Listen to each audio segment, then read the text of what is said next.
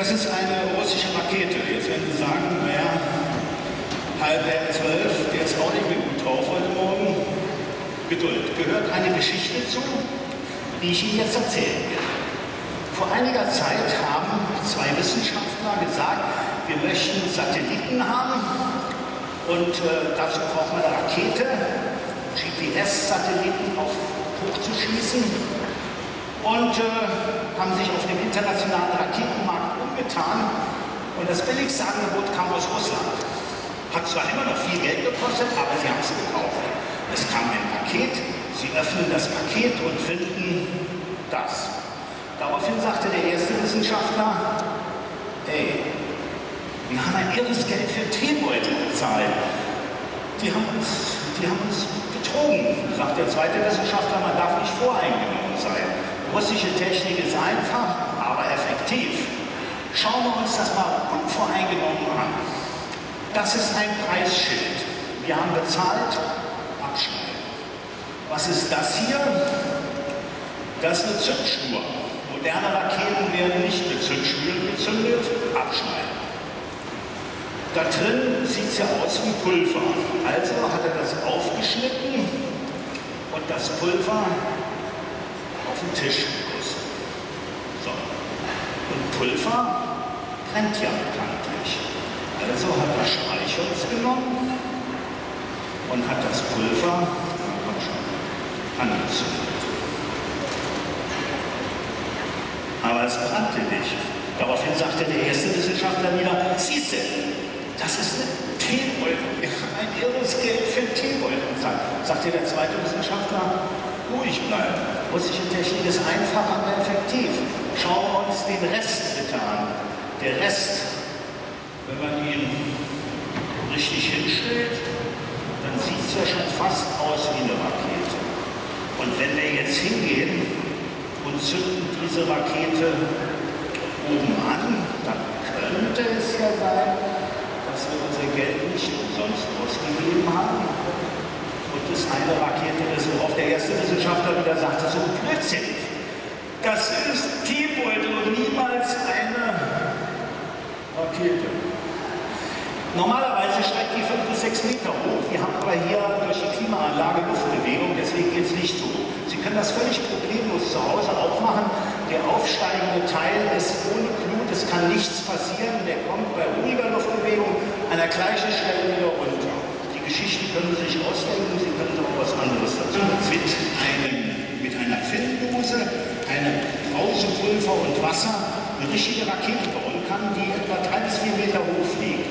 Diesen Bauanleitung als PDF-Datei kann man sich im Internet unter, kann man sehen? Ja, äh, kann man sich im Internet runterladen. Gut. Äh, wir kommen zu dem 500-Euro-Schein. Leider, meine Damen und Herren, liebe Kinder, ist auf den neuen Euroscheinen kein Kopf mehr drauf. Äh, auf den alten Scheinen waren Köpfe drauf. Äh, aber Gott sei Dank gibt es noch Länder, die Köpfe auf den Geldschein haben, zum Beispiel in England, da ist die Queen drauf. Und jetzt zeige ich Ihnen etwas, was Sie mit einem Kopf machen können, und die Kinder natürlich auch.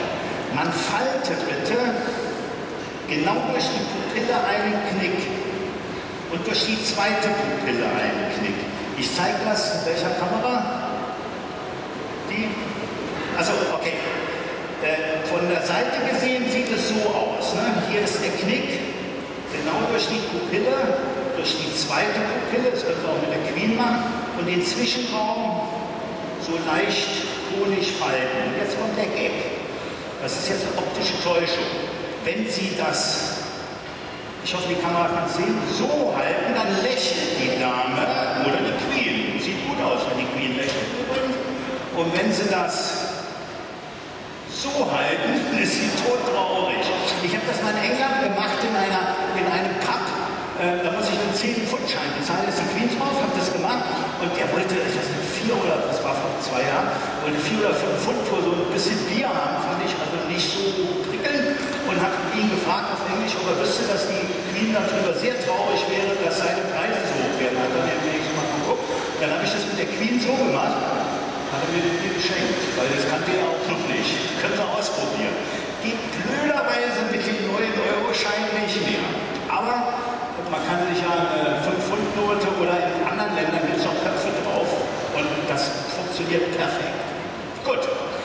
Dazu für die Kinder im Internet wieder www.ideenpark, aktuelles Tag der Experimente, magische Bilder eine Bastelanleitung, wie man mit so einem Prinzip ein altes und ein neues Foto nebeneinander stellen kann. Ich zeige es nochmal hier.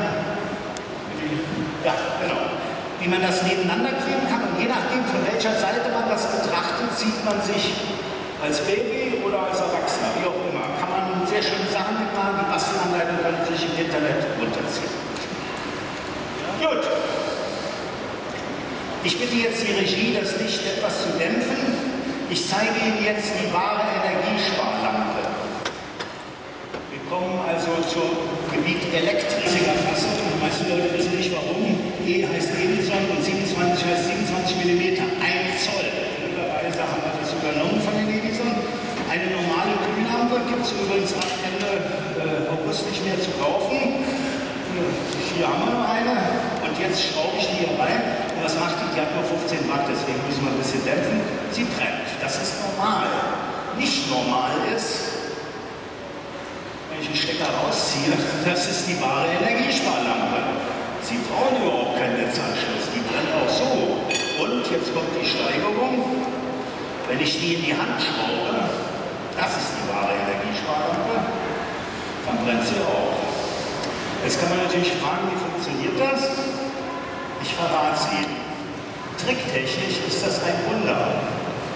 Wir haben hier Glassockel abgenommen, eine Batterie drin, logisch, und hier oben ein Lämpchen. Und wenn Sie hier unten den Fußkontakt und den Schraubkontakt, wenn man die verbindet, zum Beispiel mit Alupapier, dann leuchtet das Lämpchen.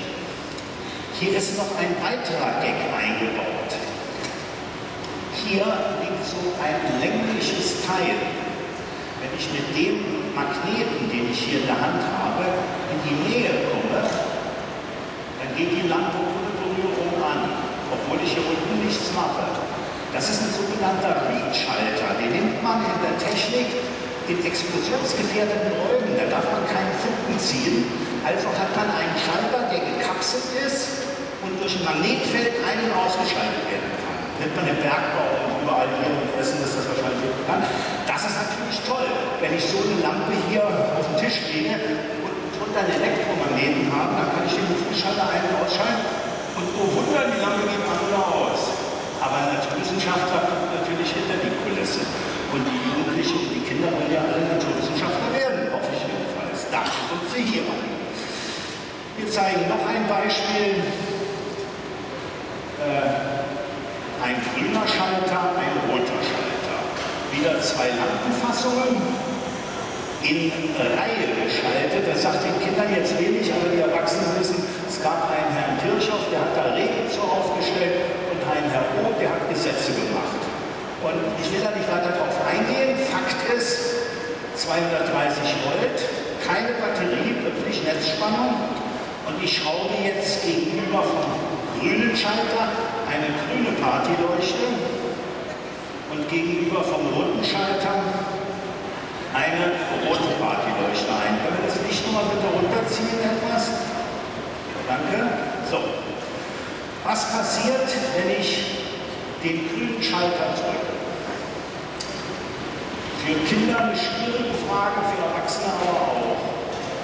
Was meinst du? Bitte? Da geht die rote an. Aber die Lampe ist doch grün und der Schalter ist, also wenn, dann geht die grüne Lampe. Das geht normalerweise. Das ist eine Reihenschaltung. Nach dem Gesetz von Herrn Kirchhoff ist das unmöglich.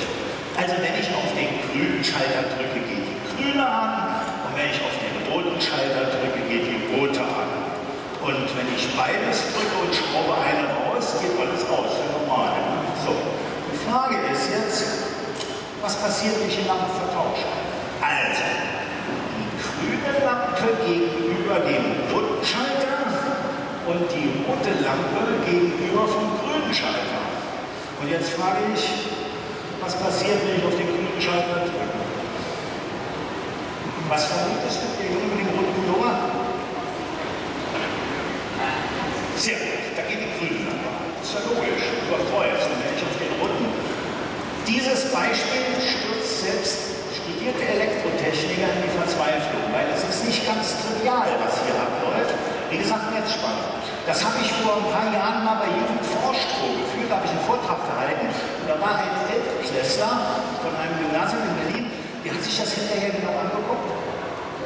Und der war ein Jahr später wieder bei forscht und hat mir einen Nachbau präsentiert.